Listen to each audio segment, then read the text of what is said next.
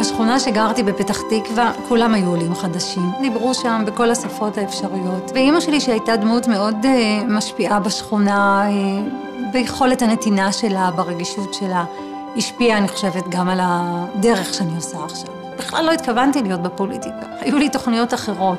אבל הדחף הזה, הרצון לשנות את כל מה שקורה כאן, זה היה חזק ממנו.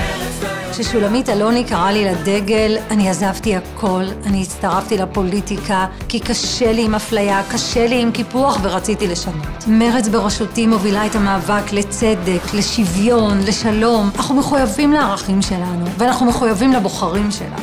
בבחירות האלו צריך לבחור צד. ויש רק הצבעה אחת שהיא הצבעה נגד נתניהו, וזו הצבעה למרץ.